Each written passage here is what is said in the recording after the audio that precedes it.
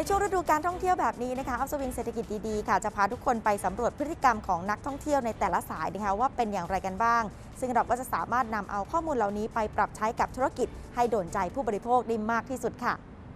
ดยผลสำรวจผู้บริโภคในด้านการท่องเที่ยวของศูนย์วิจัยไทยพาณิชย์หรือว่า EIC นะคะก็พบว่าเทรนด์การท่องเที่ยวของนักท่องเที่ยวชาวไทยค่ะ มีความหลากหลายมากขึ้นอย่างเห็นได้ชัด แล้วก็มีแนวโน้มเปลี่ยนแปลงไปอย่างต่อเนื่อง เพราะฉะนั้นนะคะการเข้าใจพฤติกรรมนักท่องเที่ยว พร้อมทั้งนำมาปรับใช้ให้สอดรับกับธุรกิจ ก็จะช่วยให้ภาคธุรกิจนั้น สามารถที่จะนำเสนอบริการที่ดึงดูดนักท่องเที่ยวเป้าหมายได้ดียิ่งขึ้นค่ะ รวมไปถึงสร้างโอกาสใหม่ๆให้กับธุรกิจด้วยนะคะ โดยกลุ่มนักท่องเที่ยวที่น่าจับตา แล้วก็เป็นโอกาสทางธุรกิจนะคะ ก็สามารถที่จะแบ่งตามกิจกรรมหลักๆ ที่นักท่องเที่ยวสนใจได้ 13 สายด้วยกันค่ะ ซึ่งไลฟ์สไตล์การท่องเที่ยวของบรรดานักท่องเที่ยวในแต่ละสาย ก็จะมีความแตกต่างกันค่อนข้างที่จะชัดเจนเพราะฉะนั้นค่ะเราจะไปดูกันนะคะว่า 13 สายนักท่องเที่ยวชาวไทยยอดนิยม แล้วก็เป็นที่จับตามองต่อภาคการท่องเที่ยวมีกลุ่มไหนบ้างค่ะ กลุ่มแรกนะคะก็คือกลุ่มสายบุญสายมูค่ะ ซึ่งถือว่าเป็นสายยอดนิยมของกลุ่มนักท่องเที่ยว Gen X แล้วก็ Baby Boomer นะคะ ซึ่งมักจะเดินทางเป็นกลุ่มครอบครัว แล้วก็กลุ่มเพื่อน อีกทั้งยังชื่นชอบการท่องเที่ยวเชิงวัฒนธรรม การเลือกซื้อสินค้าท้องถิ่น แล้วก็เที่ยวชมเมืองเป็นพิเศษค่ะ แต่อย่างไรก็ตามนะคะ นักท่องเที่ยวกลุ่มนี้ยังมีความกังวลในความปลอดภัย และก็สุขอนามัยค่อนข้างสูง เพราะว่านักท่องเที่ยวส่วนใหญ่ในกลุ่มนี้เป็นกลุ่มผู้สูงอายุค่ะ ไปต่อกันที่สายคาเฟ่นะคะ สายยอดฮิตของกลุ่ม Gen Y แล้วก็กลุ่มผู้มีรายได้สูงค่ะ ซึ่งก็มักจะเดินทางกับคู่รักแล้วก็กลุ่มเพื่อน โดยไลฟ์สไตล์การท่องเที่ยวนะคะ จะเน้นพักผ่อน และส่วนใหญ่นั้นเลือกพักโรงแรมระดับ 4-5 ดาว ที่มีอุปกรณ์ทันสมัยและตกแต่งสวยงาม เพราะฉะนั้นนะคะที่พักที่ตกแต่งอย่างมีสไตล์ จึงเป็นหนึ่งในปัจจัยสำคัญในการเลือกแหล่งท่องเที่ยวของนักท่องเที่ยวสายนี้ค่ะ ไปต่อกันที่สายท่องเที่ยวเชิงวัฒนธรรมนะคะ สายนี้จะมีลักษณะการท่องเที่ยวคล้ายๆ กับสายบุญสายมูค่ะ ซึ่งส่วนใหญ่ก็จะอยู่ในกลุ่ม baby boomer แล้วก็การเดินทางท่องเที่ยวกับกลุ่มเพื่อน แต่จะใช้เวลาในการท่องเที่ยวค่อนข้างนานกว่า และเน้นทำกิจกรรมที่หลากหลายมากขึ้น โดยนักท่องเที่ยวสายนี้นะคะ ส่วนใหญ่แล้วจะเลือกแหล่งท่องเที่ยวจากความชื่นชอบส่วนตัว และให้ความสำคัญกับที่พักที่เป็นมิตรกับสิ่งแวดล้อมค่ะ ไปดูสาย adventure กันบ้างนะคะ ซึ่งเป็นหนึ่งในนักท่องเที่ยวสายกิจกรรมที่ส่วนใหญ่อยู่ในกลุ่มผู้มีรายได้สูง กลุ่ม Gen Z แล้วก็กลุ่มที่เดินทางคนเดียวค่ะ โดยส่วนใหญ่แล้วจะเลือกแหล่งท่องเที่ยวจากความชื่นชอบส่วนตัวเป็นหลัก และเข้าพักในโรงแรมระดับ 2 ดาวขึ้นไป ที่ตั้งใกล้ชิดธรรมชาติ แล้วก็มีสไตล์การตกแต่งที่สวยงามค่ะอย่างไรก็ตามนะคะนักท่องเที่ยวสายนี้ ส่วนหนึ่งก็ยังนิยมเลือกที่พักในรูปแบบลานกลางเต็นท์ หรือว่ารถบ้านนะคะ เพื่อที่จะได้ใกล้ชิดธรรมชาติมากยิ่งขึ้นค่ะ ไปต่อกันที่สาย Workation นะคะ สายนี้เนี่ยเริ่มเป็นกระแสความนิยม จากการปรับเปลี่ยนรูปแบบการทำงาน แล้วก็การเรียนที่เน้นเรื่องของการเรียนออนไลน์มากขึ้นค่ะเพราะฉะนั้นนะคะนักท่องเที่ยวสายนี้จะมีความหลากหลาย ตั้งแต่วัยเรียนไปจนถึงวัยทำงาน นั่นก็คือ Gen C จนถึง Gen X รวมไปถึงภาคธุรกิจด้วยนะคะ โดยใช้เวลาท่องเที่ยวนานกว่า 5 วัน นอกจากนี้นักท่องเที่ยวสายนี้ค่ะ ยังนิยมไปร้านอาหารหรือว่าคาเฟ่การเข้าชมสถานที่ท่องเที่ยวสำคัญ และก็ท่องเที่ยวเชิงวัฒนธรรมค่อนข้างเด่นชัดนะคะ โดยจะเลือกพักโรงแรมระดับ 4-5 ดาว ที่มีอุปกรณ์ทันสมัย แล้วก็มีบริการที่ตอบโจทย์ความต้องการเฉพาะบุคคลเป็นหลักค่ะ ไปดูสายงานเทศกาลคอนเสิร์ตและวิ่งมาราธอนกันบ้างนะคะ ซึ่งถือว่าเป็นอีกหนึ่งสายกิจกรรมค่ะ ที่กำลังเป็นที่นิยมในกลุ่มคนรุ่นใหม่ อย่างกลุ่มคน Gen Z อย่างกลุ่มคน Gen Z และก็ Gen Y ค่ะ โดยนักท่องเที่ยวสายนี้นะคะจะเลือกจุดหมายการท่องเที่ยวจากงานเทศกาลหรือว่าคอนเสิร์ตเป็นหลัก ส่วนใหญ่จะใช้เวลาท่องเที่ยวอย่างน้อย 4 วัน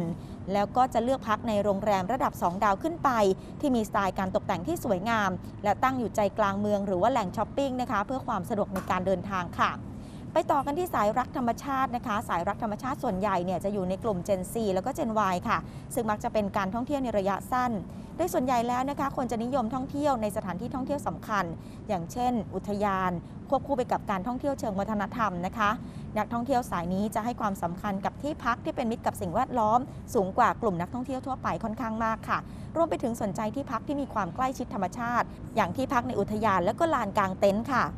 ส่วนสายสุขภาพและก็เวลเนสนะคะ สายเฮลตี้เนี่ยส่วนใหญ่ก็จะเป็นกลุ่มผู้มีรายได้สูง และเข้าพักระยะยาวมากกว่ากลุ่มอื่นค่ะ ซึ่งเป็นการท่องเที่ยวเพื่อการพักผ่อนอย่างเต็มที่ควบคู่กับการตระเวนหาคาเฟ่จิบกาแฟในบรรยากาศสุดฟิน โดยส่วนใหญ่แล้วจะเลือกพักในโรงแรมระดับ 4-5 ดาว ที่มีบริการด้านสุขภาพ และเวลเนสชั้นนำเพียบพร้อมไปด้วยอุปกรณ์ทันสมัย แล้วก็บริการที่ตอบโจทย์เฉพาะบุคคลค่ะ นอกจากนี้นะคะที่พักที่มีสไตล์การตกแต่งที่สวยงามก็จะได้รับความสนใจเป็นพิเศษค่ะ และหากมีส่วนลดโปรโมชั่นด้วย ก็จะยิ่งดึงดูดนักท่องเที่ยวสายนี้มากยิ่งขึ้นค่ะ ส่วนนักท่องเที่ยวสายฟรีแลนซ์นะคะ ซึ่งถือว่าเป็นเทรนด์ใหม่ที่มาแรงตามการจ้างงานที่ลดลงจากวิกฤตโควิดค่ะ ส่วนใหญ่แล้วเป็นกลุ่ม Gen Y ที่รักอิสระชอบการเดินทางคนเดียวนะคะ แล้วก็เนื่องจากนักท่องเที่ยวสายนี้เป็นกลุ่มทำงานอิสระที่สามารถทำงานได้ทุกที่ จึงทำให้ส่วนหนึ่งแล้วเนี่ยจะนำงานไปทำระหว่างการท่องเที่ยวพักผ่อน แล้วก็ใช้เวลาท่องเที่ยวระยะยาวมากกว่า 5 วันค่ะ โดยจะเลือกพักโรงแรมระดับ 2 ดาวขึ้นไป และเป็นการเข้าพักแบบไม่จองล่วงหน้าส่วนนักท่องเที่ยวสายลุยเดี่ยวนะคะก็เป็นอีกหนึ่งนักท่องเที่ยวสายรักอิสระค่ะ ที่ส่วนใหญ่ก็จะเป็นกลุ่มคนรุ่นใหม่ Gen Y Gen Z แล้วก็กลุ่มคนโสด โดยจะเน้นท่องเที่ยวเพื่อการพักผ่อนค่ะ ถึงแม้ว่าส่วนหนึ่งนั้นยังนำงานไปทำระหว่างการท่องเที่ยวด้วย อีกทั้งนักท่องเที่ยวสายนี้นะคะยังชื่นชอบทำกิจกรรมที่หลากหลาย และนิยมพักโรงแรมระดับ 2-3 ดาวเป็นหลัก เข้าพักแบบไม่จองล่วงหน้าเช่นเดียวกันค่ะ ไปต่อกันที่สายเที่ยววันเดียว สายเที่ยวสั้นแล้วก็เที่ยวยาวนะคะ นักท่องเที่ยวสายเหล่านี้ค่ะมักจะมีจุดประสงค์ แล้วก็รูปแบบในการท่องเที่ยวที่ค่อนข้างแตกต่างกันอย่างชัดเจนโดยสายเที่ยววันเดียวค่ะ ส่วนใหญ่ก็จะเป็นกลุ่ม Gen Y กลุ่มเดินทางคนเดียว แล้วก็กลุ่มที่มีงบประมาณการท่องเที่ยวที่จำกัด จากรายได้ที่ไม่สูงมากนักนะคะ โดยเน้นการไปทำบุญไหว้พระ กับทำกิจกรรมอนุรักษ์สิ่งแวดล้อมมากกว่าสายอื่นๆ ส่วนนักท่องเที่ยวสายเที่ยวสั้นค่ะ ส่วนใหญ่จะเน้นเดินทางกับกลุ่มเพื่อนหรือว่ากลุ่มครอบครัว โดยท่องเที่ยวเพื่อการพักผ่อนควบคู่กับการเข้าร้านอาหาร คาเฟ่บรรยากาศดี และมักเลือกพักในโรงแรม 2-3 ดาว ขณะที่นักท่องเที่ยวสายเที่ยวยาวนะคะ ซึ่งแม้ว่าจะมีจำนวนไม่สูงมากนัก แต่ก็เป็นสายที่น่าสนใจค่ะ โดยส่วนใหญ่แล้วนะคะจะอยู่ในกลุ่ม LGBTQIA แล้วก็กลุ่มคู่รักกลุ่มผู้มีรายได้ค่อนข้างสูง และกลุ่มอาชีพที่มีเวลาท่องเที่ยวนานค่ะ อย่างเช่น กลุ่มเกษียณกับกลุ่มอาชีพอิสระ สายนี้นะคะจะนิยมท่องเที่ยวทั้งสถานที่ท่องเที่ยวสำคัญ เที่ยวชมเมือง เที่ยวเชิงวัฒนธรรม รวมไปถึงการทำกิจกรรมหลากหลายนะคะไม่ว่าจะเป็น adventure outdoor คอนเสิร์ตสปา แล้วก็การออกกำลังกายค่ะ อีกทั้งยังเลือกพักในโรงแรมระดับ 4-5 ดาวเป็นส่วนใหญ่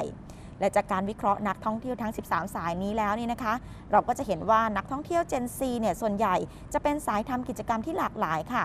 ส่วน Gen Y นะคะจะเน้นเที่ยวแบบชิลเข้าร้านคาเฟ่แล้วก็นวดสปา ส่วน Baby Boomer แล้วก็ Gen X นะคะจะเน้นไปที่การทำบุญไหว้พระ แล้วก็เข้าถึงวิธีคนท้องถิ่นนั่นเองค่ะ เป็นยังไงกันบ้างคะคุณผู้ชมคะสำหรับข้อมูลเกี่ยวกับพฤติกรรมการท่องเที่ยวของนักท่องเที่ยวในแต่ละสายค่ะ และคุณผู้ชมล่ะคะเป็นนักท่องเที่ยวสายไหน และสำหรับผู้ประกอบการนะคะก็สามารถที่จะนำเอาข้อมูลเหล่านี้ไปปรับใช้กับธุรกิจได้นะคะเพื่อที่จะทำให้